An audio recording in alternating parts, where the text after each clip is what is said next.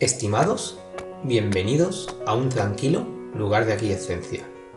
Antes de nada, quiero daros las gracias de todo corazón por todo vuestro apoyo y aquiescencia. Todo el equipo aquiescente agradecemos todos vuestros comentarios y todos vuestros likes. De veras, nos hacéis muy felices.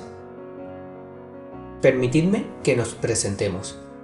Feri es la responsable de contenido. Es alegre, simpática, un poco mandona y siempre está dispuesta a escuchar a cualquier ser. Nulla es mi hermano.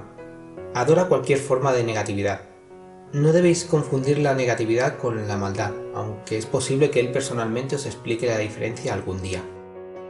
Y por último, yo. Me llamo Ulla, y ya me conocéis.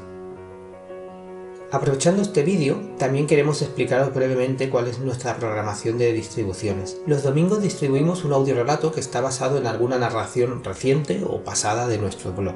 Los viernes presentamos el video relato aquiescente, que por norma lo realizamos en estilo pixelar, como los videojuegos de los años 80. Este estilo de visualización nos gusta mucho, la verdad, aunque por supuesto a medida que recibimos colaboraciones e influencias externas esto variará e incluso realizaremos trabajos híbridos. Ya lo veréis, nos esperan relatos muy mágicos. Además, en breve contaremos con... Bla bla bla. ¿No os cansáis de tanto bla bla bla? Tanta asertividad, tanta positividad, tanto elogio. ¡Qué asco! Estoy cansado. ¿Sabéis por qué el vídeo negativo en un mar de odio es el segundo más visto de este canalucho?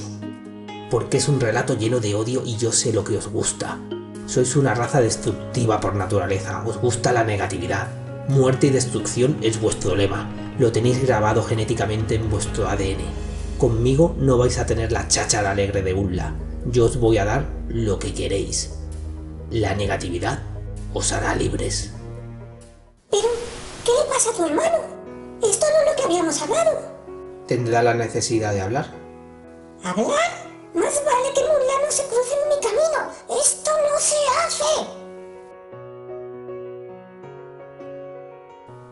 Estimados, perdonar el imprevisto, la vida siempre nos sorprende y lo único que nos queda es adaptarnos a ella.